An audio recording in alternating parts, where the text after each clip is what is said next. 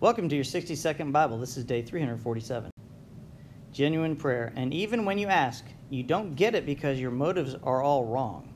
You want only what will give you pleasure. Knowing and not doing. Remember, it is a sin to know what you ought to do and then you don't do it. And that is your 60 second Bible.